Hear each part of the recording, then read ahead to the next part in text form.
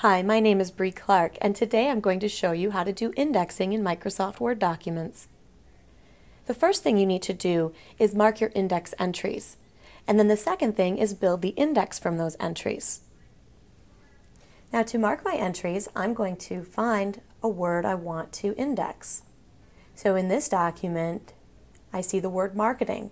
I want an index entry at the end of the document for that, so I'm going to double click to select the word then go to References and click Mark Entry.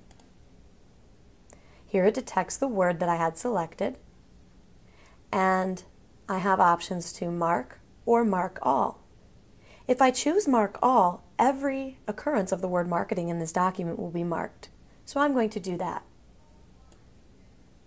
Now when I click close, I will see this field code showing me that this word was marked as an index entry. If I look down in the next paragraph, I'll see another index for marketing.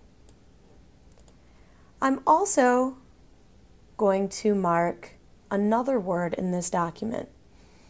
I want to mark the word business, so I'm going to do a find for the word business and find the one I want to mark.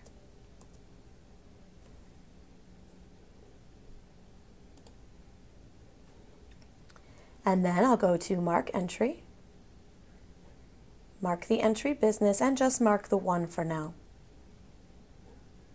Now I'll close the marking box, and I'll go to the end of the document.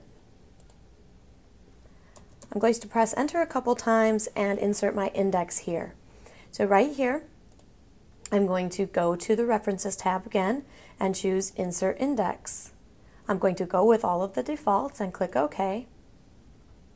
And now I will see an index that has the word business as well as the word marketing and everywhere where those occur where there were index entries. So remember, first go through and mark all of your entries, then insert your index. My name is Brie Clark and that's how you can build an index in Microsoft Word.